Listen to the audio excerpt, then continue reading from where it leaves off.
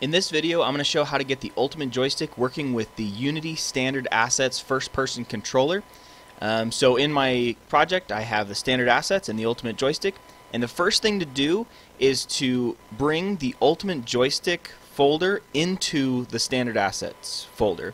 And the reason for this is that the Standard Assets folder, um, the Unity engine compiles that folder first above other things.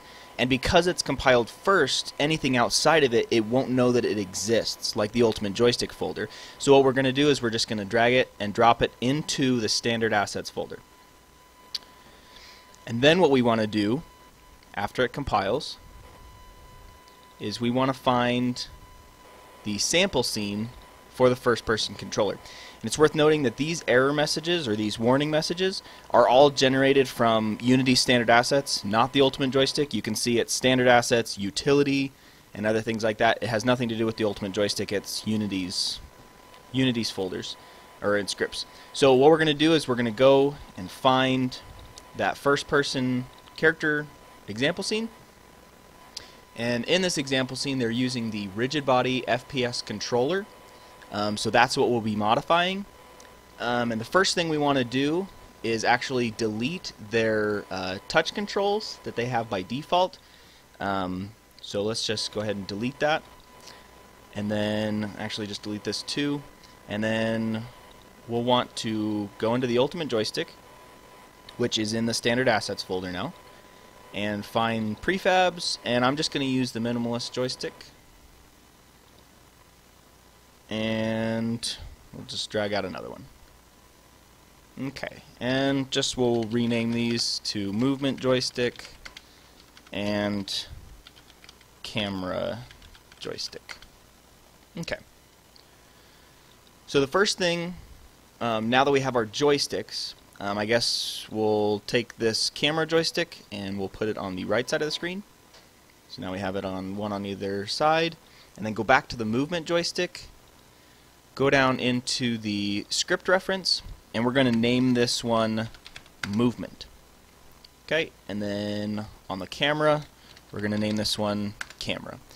And the reason for naming the joystick is that we can reference it through code by this name. We can get this specific joystick with that name. So now we'll want to open up the first person character controller script And I'll zoom in so we can see.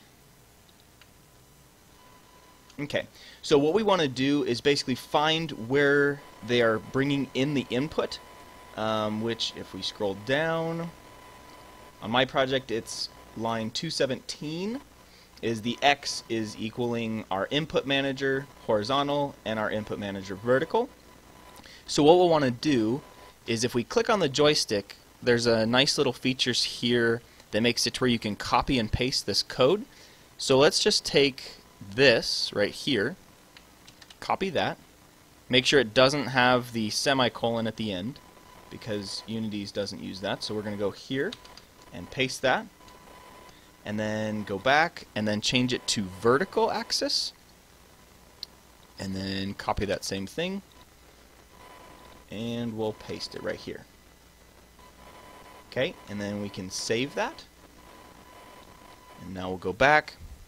And now um, what what um, takes care of the looking around is this mouse look here, but it's actually its own script.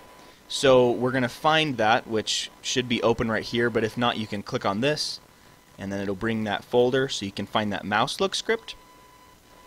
So click on that, and then right off the bat, you can see here is that same thing, get axis. These two functions here.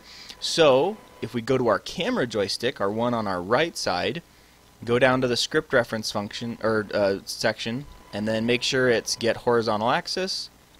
Copy that code again, and we're going to paste it for mouse X. And then we're going to change this to vertical axis. Copy that, bring it back to here, and paste that over the mouse Y. Save that, go back to Unity, and then one very last thing to do that's important is on the rigid body FPS controller um, uh, game object up here, go into here and look at the mouse look settings and uncheck the lock cursor boolean. This is this is important because it won't lock our cursor, so we can actually move it around for testing. So now everything should be set. So let's press play. And now we can see if we use this joystick, we move around. And if we use this one, we can look around. So that's how to get the Ultimate Joystick implemented into Unity's first-person character controller.